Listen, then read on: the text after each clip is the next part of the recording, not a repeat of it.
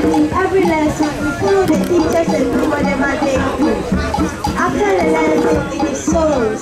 That is the education. Souls in culture means freestyle. So after the lesson, freestyle. Enjoy